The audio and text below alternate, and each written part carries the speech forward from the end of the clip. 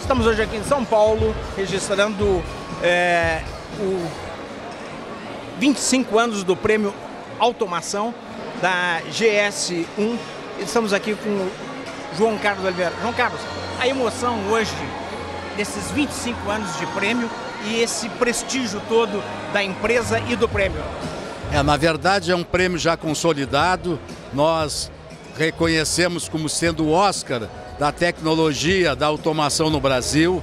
Nas suas bodas de prata, nós estamos reunindo aqui no Tom Brasil, em São Paulo, mais de mil pessoas, porque além de comemorarmos esses 25 anos do prêmio, também comemoramos neste ano de 2023 os 40 anos da GS1 Brasil e os 50 anos do Código de Barras no mundo.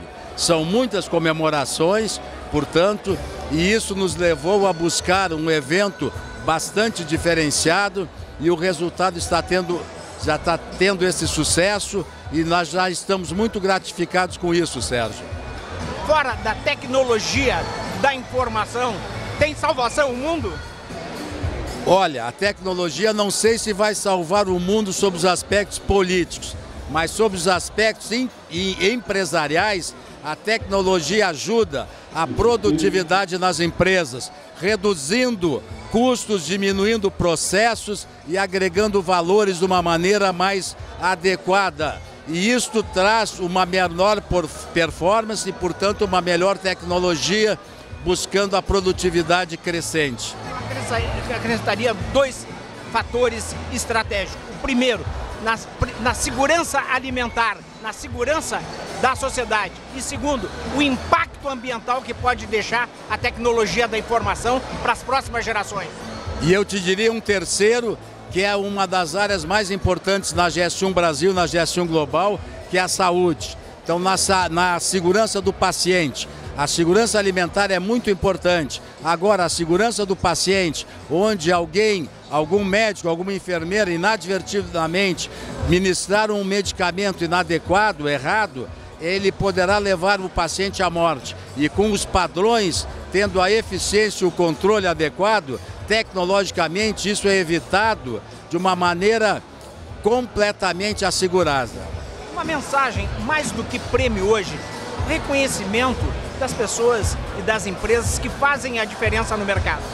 São realmente aquelas empresas que foram agraciadas hoje, eles fazem a diferença ao longo fizeram a diferença ao longo desse ano através da utilização do padrões, dos padrões de S1 para melhorar os seus negócios em toda a sua cadeia produtiva. Então nós temos que destacá-los, nós temos que inclusive mostrar através de case o que eles fizeram para ficar claro para os demais participantes do evento e isso demonstra que cada vez mais os padrões de S1 estão sendo utilizados pelos empresários para buscar melhores resultados em suas empresas.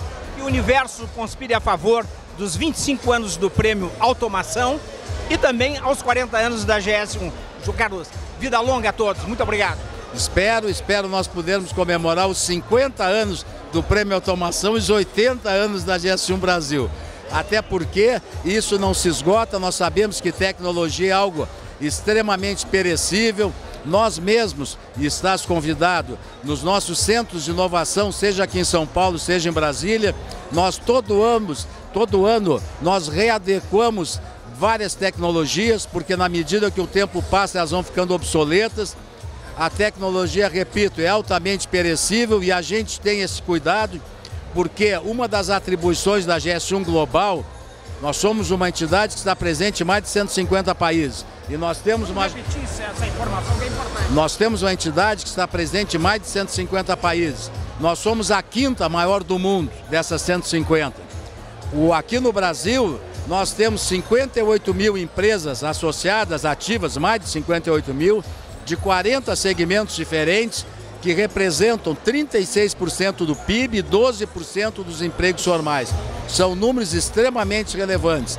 E existe uma GS1 global que fica em Bruxelas, que tenham cuidado, através dos seus grupos de trabalho, que muitos deles nós participamos, manter essa vanguarda tecnológica.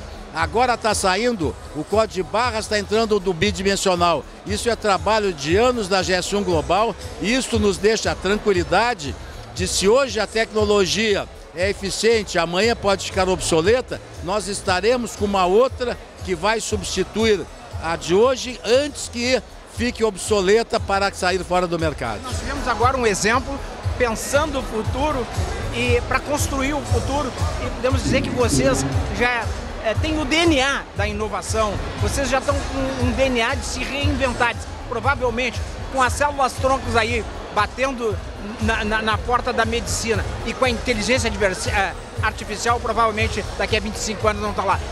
Que o universo conspire cada vez mais a favor deu e de todos os premiados e todo o setor. Obrigado.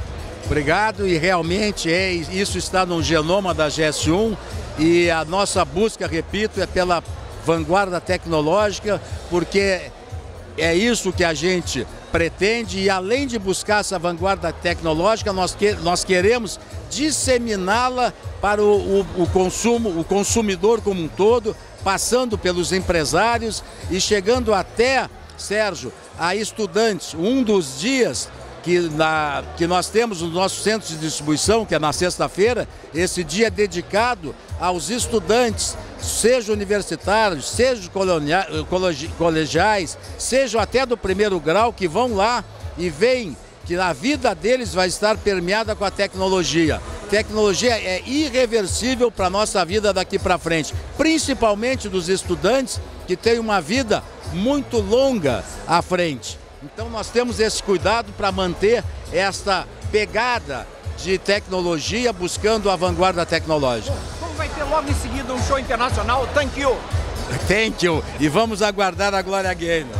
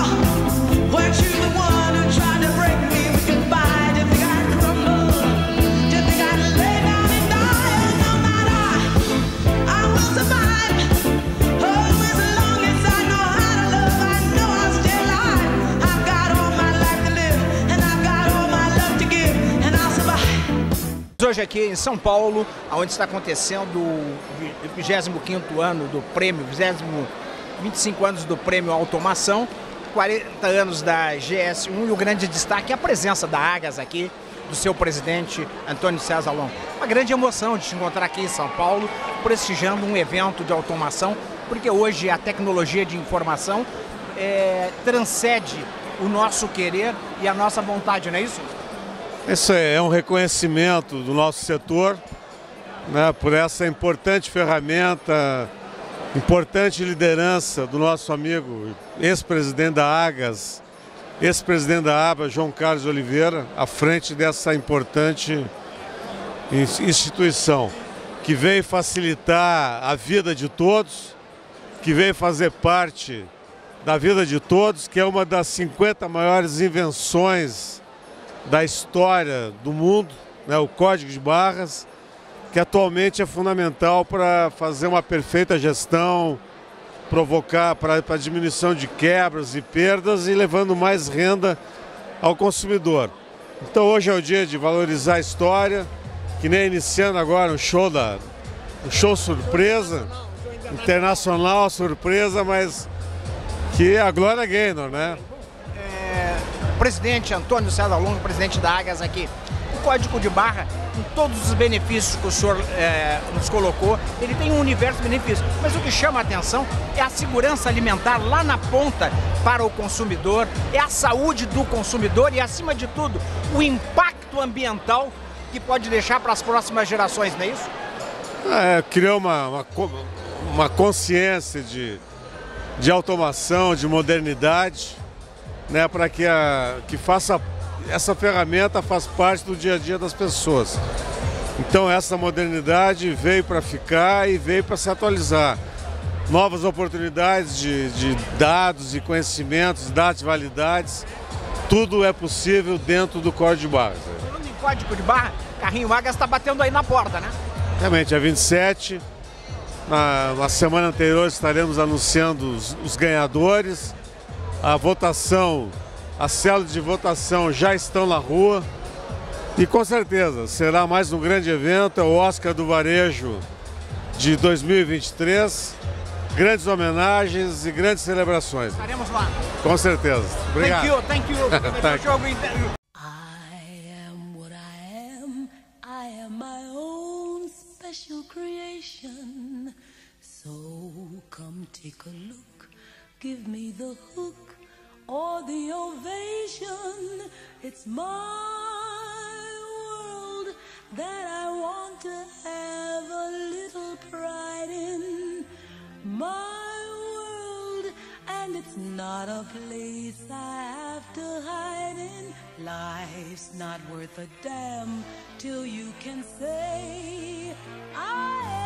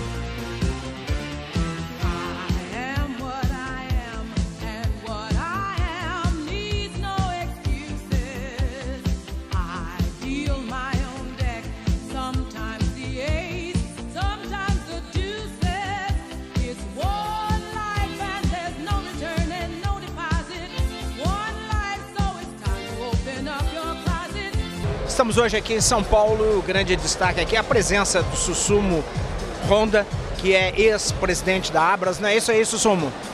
É, ex-presidente da Abras e no conselho da GS1 hoje, né?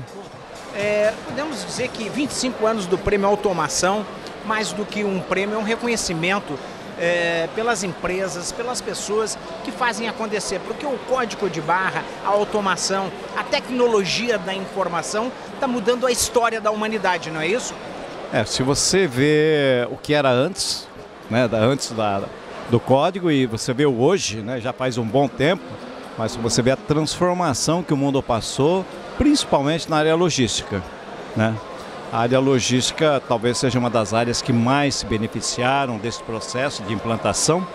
E agora você tem o código hoje que vem o código o, o D, né? O, a- o D2, então você vai começar a ter agora também um outro processo que é de, de, de informações ligadas a- aos produtos.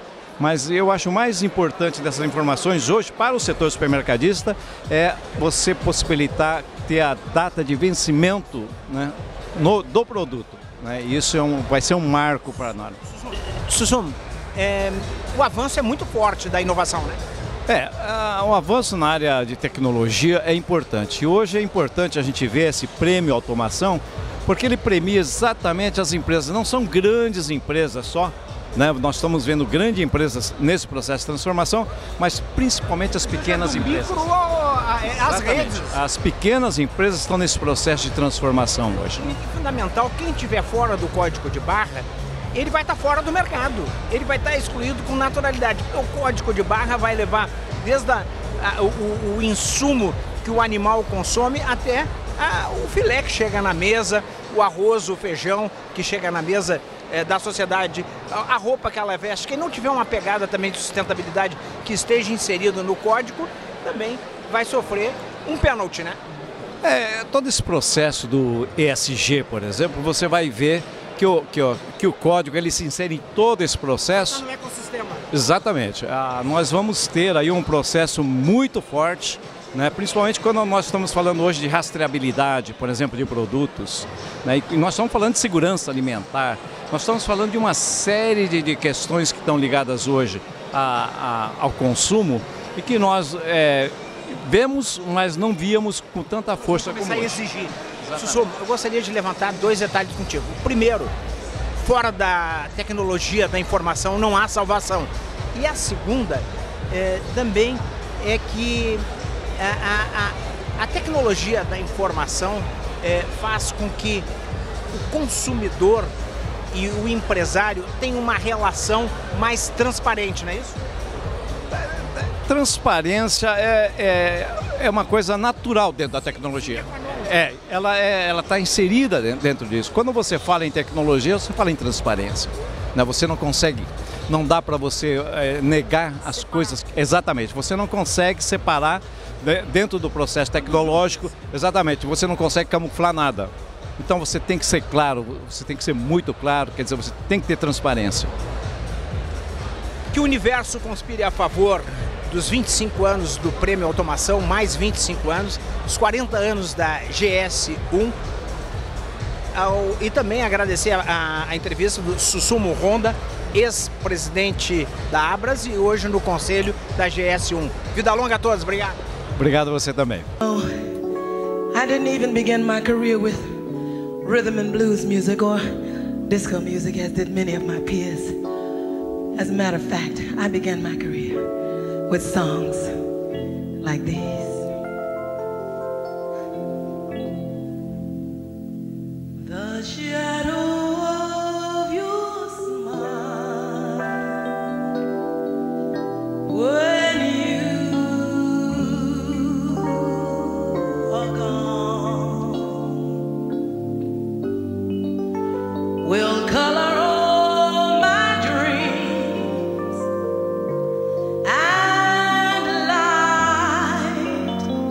Estamos hoje aqui em São Paulo, evento 25 anos do Prêmio Automação, 40 anos da G- GS1.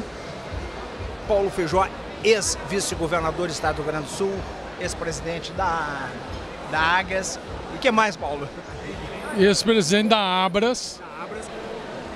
Uma mensagem hoje, muito mais do que um prêmio, é um reconhecimento para as empresas e as pessoas que fazem a diferença num setor de tecnologia da informação que hoje passou a ser estratégico em qualquer eh, empreendimento, porque ele traz muita transparência e muita eh, custo-benefício eh, imensurável, não é isso?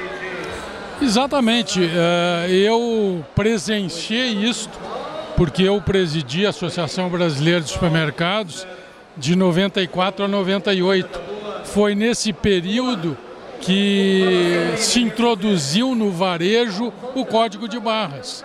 Então, obviamente que evoluiu muito eh, e é fundamental para todas essas pessoas que ousaram no Brasil a transformar o varejo e a cadeia produtiva eh, automatizada, trazendo produtividade, trazendo informação e trazendo menor custo na cadeia produtiva e, por conta, consequência, melhor, melhor produto com melhor qualidade e mais barato para o consumidor final. É, podemos dizer que o código de barra é uma grande ferramenta de transformação em todos os aspectos: social, saúde, é, econômico, comercial, porque ele, ele tem transparência, ele cuida da segurança alimentar do consumidor, ele cuida da saúde do consumidor que vai na farmácia consumir um remédio. E acima de tudo, ele é uma ferramenta também de trazer um impacto ambiental para as próximas gerações, não é isso? Exatamente, ele está integrado em toda a cadeia produtiva. Exatamente. E o beneficiado com isso é o consumidor final. Qual é o segredo em todos os lugares que tu vai? Tu é sempre, tu traz uma inovação, tu traz algo de novo e, e torna o local extremamente diferenciado. Qual é o segredo? Ser um pouco ousado e gostar do que eu faço e trabalhar com pessoas. Já que é esse DNA que onde tu vai, tu sempre leva algo é, que pô, antes as pessoas é, sabiam, ou não pensavam ou sabiam. E qual é o segredo? Não, isso é uma percepção tua. Eu vou te dar um exemplo. Nas redes de supermercados, tu entrou e saiu na hora certa. Na academia, tu entrou e saiu na hora certa. No, no country, tu entrou e, e, e, e deixa. Onde tu passa, tu deixa um legado de, de diferencial, tu agrega valor. Procuro agregar, aprendi isso com meu avô, com meu pai e com a família, sem dúvida. Que o universo conspire a favor da, do, do prêmio Automação. Obrigado. Muito obrigado e, e obrigado por sempre estar prestigiando o setor produtivo. 25 anos do prêmio Automação, um, um show internacional da Glória Gay e presença Francisco Schmidt da Águia. Uma mensagem para os premiados. Parabéns à GS1 por essa grande noitada. Parabéns aos 25 anos da GS1 pelo Prêmio Automação e 40 anos da GS1 Brasil. João Carlos Oliveira, você realmente está fazendo a diferença na GS1. Uma grande noite, parabéns. Francisco, é, podemos dizer que a automação, o código de barra, foi uma, uma ferramenta que revolucionou o mundo dos negócios, né? Com certeza. No meu segmento dos supermercados, jamais teríamos a eficiência que temos hoje sem a automação proporcionada pela GS1. Dia 27, nós temos o Oscar dos supermercados, do supermercadista. Confere. Confere. Carrinho Agas, dia 27 de novembro, no Grêmio Náutico União. Com a presença do Sérgio fazendo a cobertura. Agora, São Paulo é outro mundo, né? Sem menosprezar no- as nossas raízes, mas é outro mundo, né? É verdade, o mundo gira em torno de São Paulo. Vida louca, obrigado, Francisco. Valeu, Sérgio. Obrigado, querido. Um grande abraço. I grew strong and I learned how